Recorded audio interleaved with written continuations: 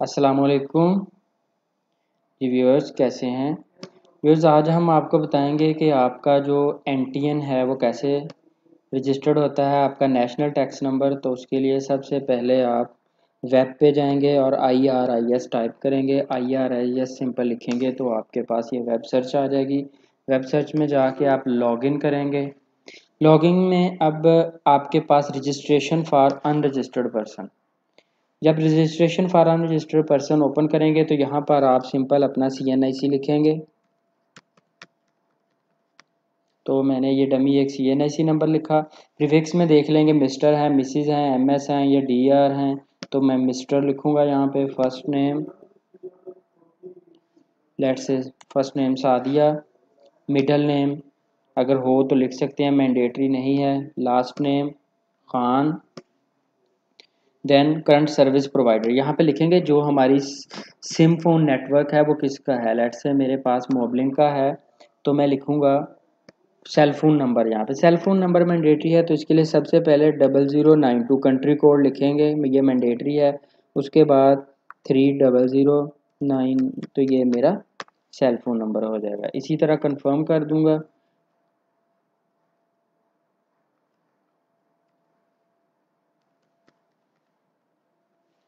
तो email address में अपना टाइम कर, टाइप करूँगा। ईमेल एड्रेस में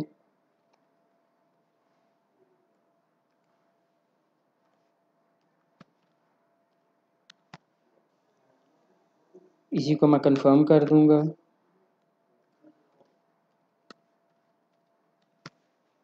तो अब आ जाएगा मेरे पास एड्रेस इन्फॉर्मेशन तो इसी तरह मैं एड्रेस इन्फॉर्मेशन यहाँ पे दो चीज़ें जो याद रखने वाली हैं।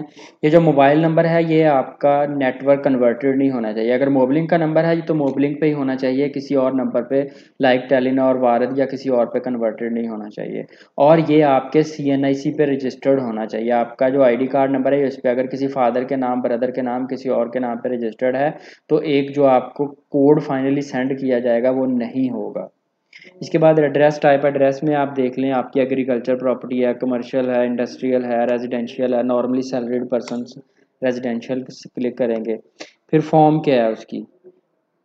कैंप है कंपार्टमेंट है कॉटेज है तो हाउस सेलेक्ट कर, जो भी आपके रेलिवेंट है उसको कर सकते हैं। मेज़रमेंट यूनिट क्या है? मरला है केनाल है केनाल है लेट से तो एरिया उसका कितना है? वन केनाल यूनिट नंबर क्या है? मींस घर नंबर फ़र्ज़ करें five forty three complex number है जी के वन रहाइश किधर है जी? मॉडल टाउन या कोई भी आपकी जो है वो सिलेक्ट कर सकते हैं। फिर यहाँ से आप सिटी सिलेक्ट करेंगे।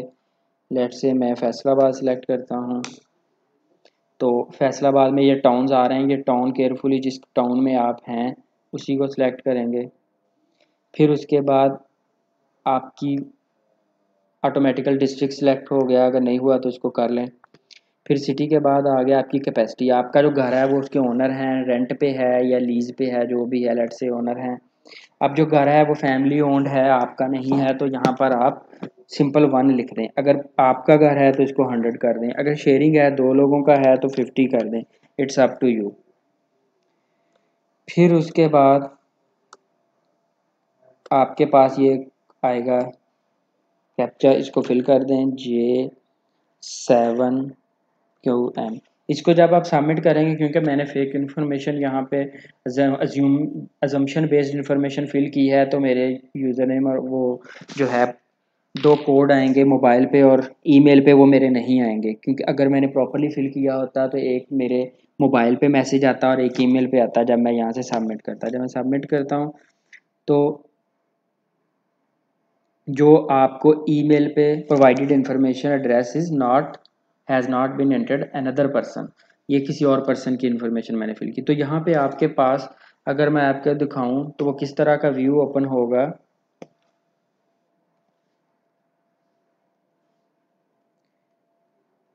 जी, यहाँ पे देखें आप तो आपके पास लास्ट में जस्ट लाइक दिस। ये इस तरह की इन्फॉर्मेशन आप ओपन होगी जब आप उसको सबमिट करेंगे। तो एक कोड आपको एसएमएस में आएगा, वो यहाँ पे लिखेंगे, एक मोबाइल पे ईमेल पे आएगा, वो यहाँ, जब इसको आ जाए तो इसको सबमिट कर दें। अगर नहीं रिसीव होते टाइमली दस, पंद्रह, बीस मिनट के अंदर तो रीसेंड करें, दोबारा कोड आ जाएँगे। अदरवाइज़ सबमिट करें तो आपके ई पे आपका यूज़र नेम और पासवर्ड इशू हो जाएगा। वंस यूज़र नेम और पासवर्ड इशू हो जाए तो फिर आप वेब ओपन करें आई पे दोबारा जाएँ और दोबारा आयरस ओपन करें आई आर आई एस तो यहाँ पर आपका जो है, वो यहाँ पर आपके पास जो ईमेल में आपके पास लॉगिन पासवर्ड आया, जो कि आपका आईडी कार्ड नंबर होगा, यहाँ पर रजिस्ट्रेशन में आईडी कार्ड लिखेंगे और पासवर्ड लिखेंगे और लॉगिन कर देंगे तो आपका लॉगिन कंप्लीट हो गया। तो आपका जो एन है, वो रजिस्टर्ड हो गया और कम, ये प्रोसेस कंप्लीट हो गया। तो thank you thank you for watching